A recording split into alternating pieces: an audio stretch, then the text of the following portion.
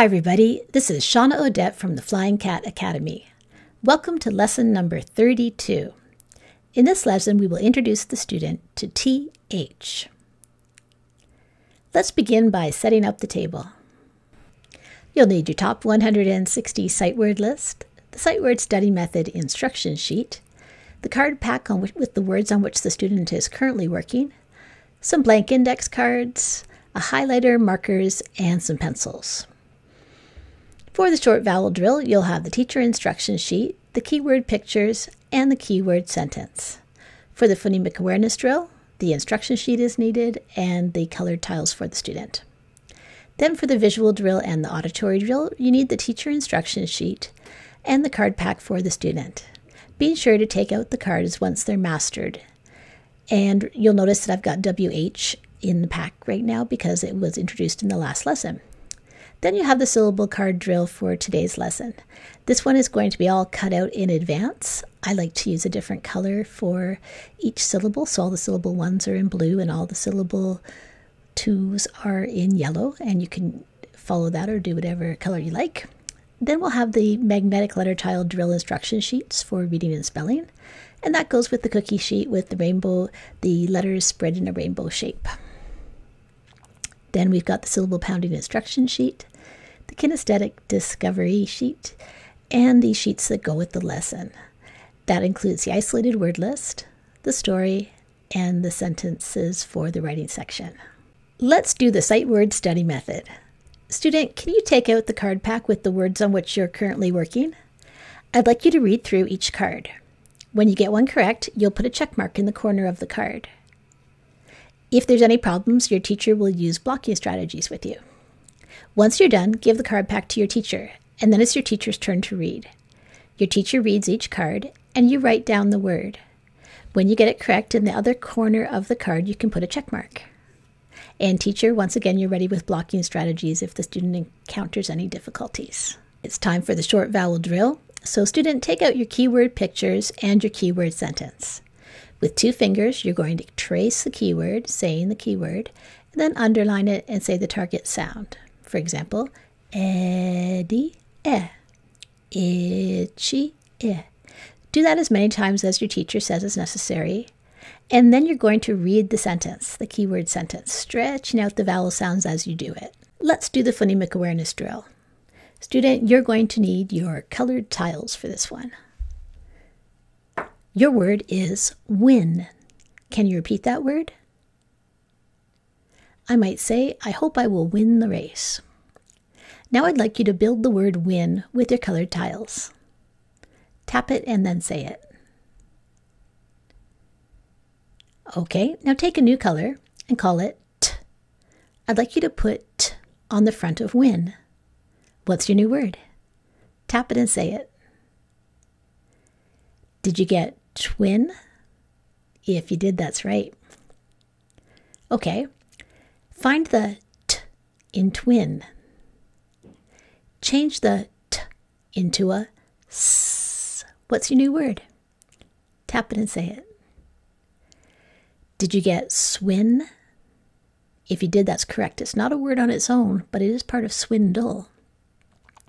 Okay, now find the i in swin. Change the i into an uh. What's the new word? Another nonsense one. Did you get swan? If you did, that's correct. Find the n in swan. Now change the n into a mm. What's the new word? Tap it and say it. Did you get swum? If you did, that's right. Now, let's add a new color P onto the end of swum. What's your new word? Tap it and say it.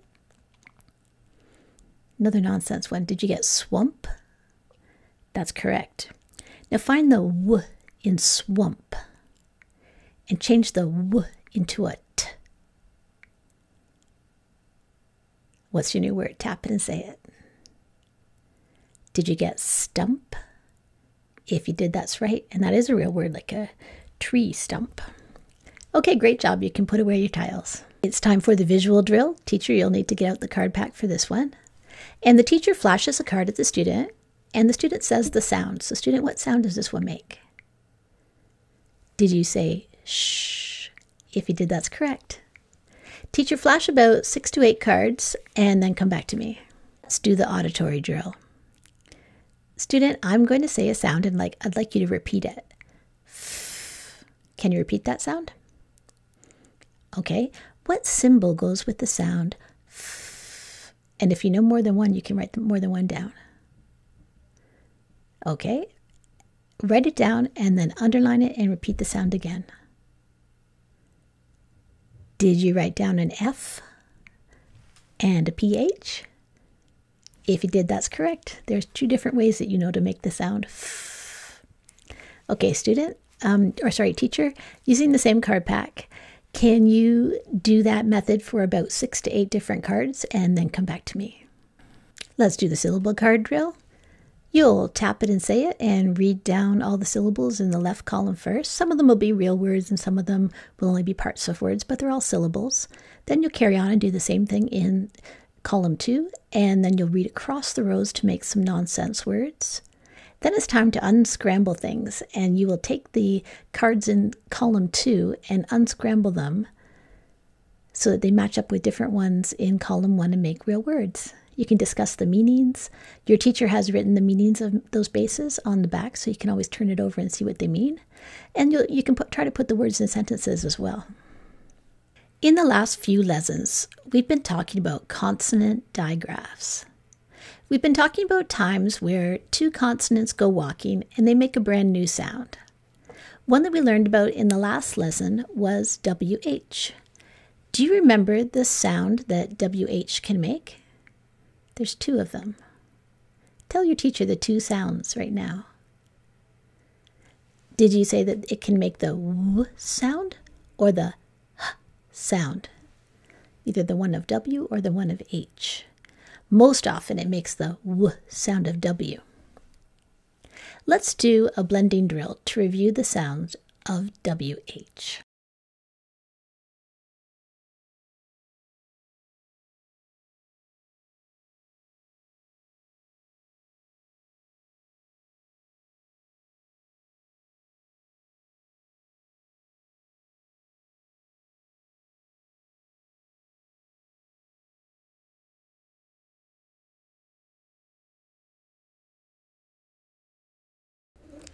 Another consonant digraph on which we've been working is PH. Student, do you remember the sound of PH? Tell your teacher. PH makes the same sound as the letter F. It makes the F sound. Why is it that sometimes we use this symbol and sometimes we use this symbol?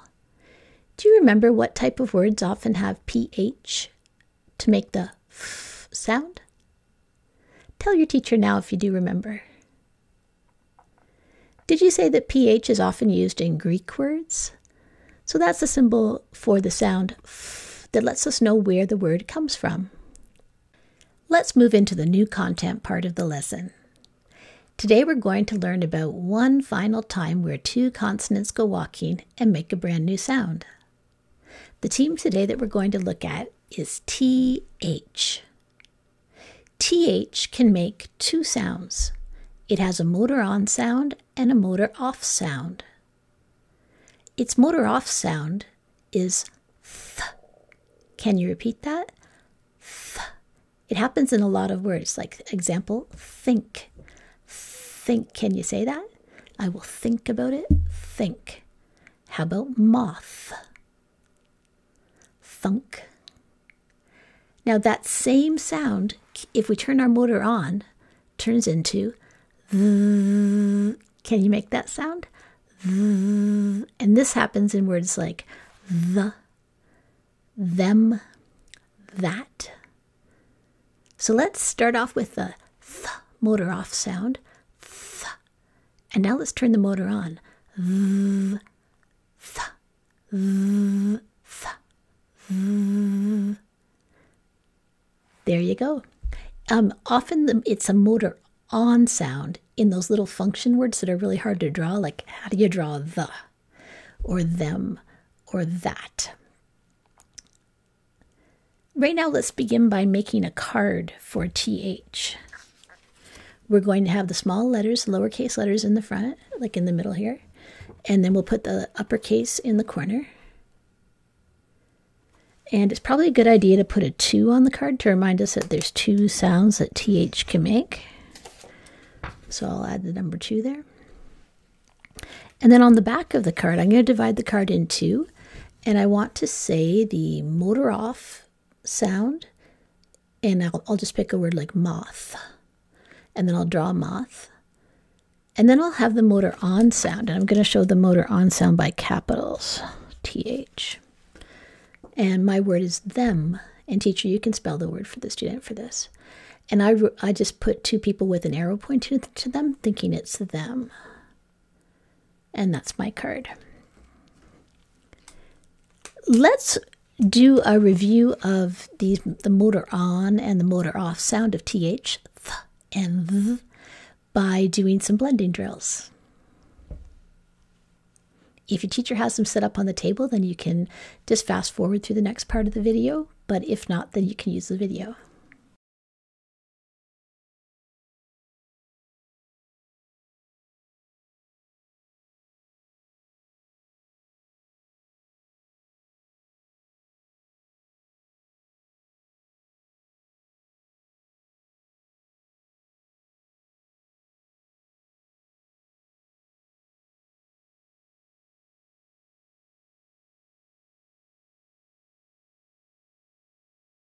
Let's do the magnetic letter tile drill for reading. Student, do you have your board on hand for this one? Your sound is v. Can you repeat that sound?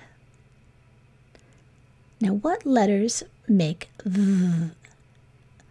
It might be on one tile or it might be on several tiles that you have to pull down. Find the correct tile or tiles and pull them to the middle. Your next sound is eh. Can you repeat that sound? Now find the correct tile for e and bring it to the middle. Your last sound is mm. Can you repeat that sound? Now find the correct tile and pull it to the middle. Tap it and say it. Did you get then? If you did, that's right. You might say, I will do this, then I will do that. Okay, put your tiles away and get ready for your next word. Your sound is th. Can you repeat that sound? Okay, find the correct tile or tiles and pull them to the middle. Your next sound is I. Can you repeat that sound? Find the correct tile and pull it to the middle. And the last sound is n. Can you repeat that sound? Find the correct tile and pull it to the middle. Now tap it and say it. Did you get thin? If you did, that's correct. Good job. Teacher, if there's time and you would like to do an extra word, you can do another word. Otherwise, let's move on to the single word list. You can read down the list and then move on to the short story. Let's do the magnetic letter tile drill for writing. Student, you're going to need your board with your magnetic letter tiles on it for this one. Your word is shop. Can you repeat that word? Now let's put it in a sentence. I might say, I will go and shop tonight. Maybe I'll buy some shoes. You put it in a sentence now. Okay, what's the first sound that you hear in shop? Find the correct tile or tiles and pull them to the middle. What's the next sound that you hear in shop? Find the correct tile and pull it to the middle. And what's the last sound that you hear in shop? Find the correct tile and pull it to the middle. Now tap it and say it. Did you get S H O P? If you did, that's correct. Okay, put your tiles away and get ready for a new word. Your word is them. Can you repeat that word? Okay, now can you use them in a sentence? I might say, I will kick the ball to them. What would you say? Okay, what's the first sound that you hear in them? Find the correct tile and pull it to the middle. What's the next sound that you hear in them? Find the correct tile and pull it to the middle. And what's the last sound that you hear in them? Find the correct tile and pull it to the middle. Now tap it and say it. Did you get T H E M? If you did, that's right. Good job, you can put your board away. Now you're going to need a lined paper and a pencil, and we're going to tap out or trace some words and say the sounds. Then we'll grab the word in the air, pull it across, and say the whole word, and then we'll write it down. Your word is chat. Can you repeat that word? Now you can choose whether you'd like to tap out the sounds before you try and write it, or if you'd like to trace them and say it. So choose the method you want to do, and then try and write it down. Teacher, you can check the work.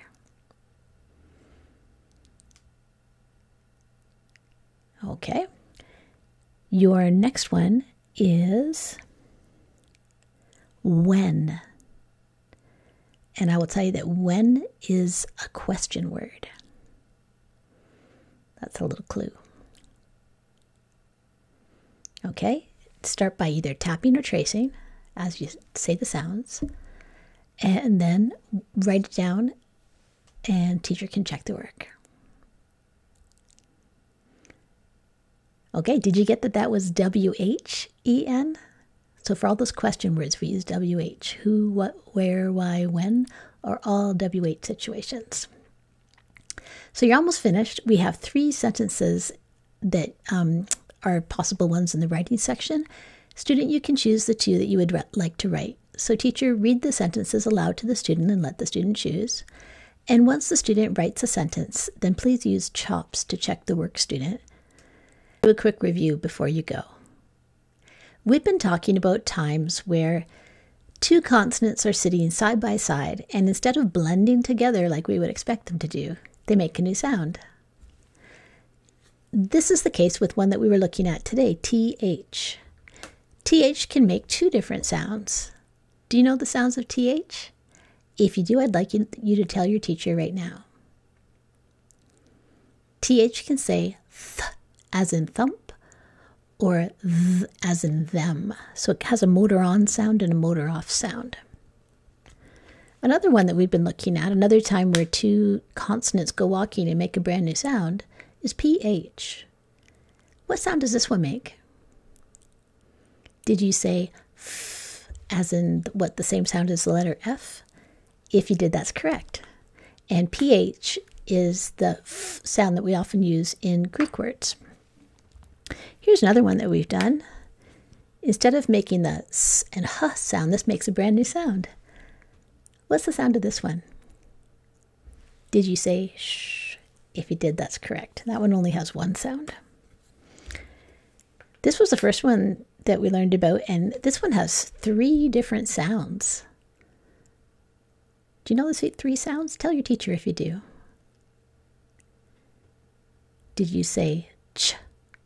As in chip, and k as in school, and sh as in machine. If you did, that's right. CH that makes sh is quite uncommon. Usually we, we would use the SH sound to make that one. So for ch, that's the by far the most common sound of CH. And then the last one that we looked at was the sounds of WH, and there are two sounds that WH can make. Tell your teacher the two sounds. Did you say it can say w as in W, the sound of W, or h, which is the sound of H? But most often it'll make the w of W.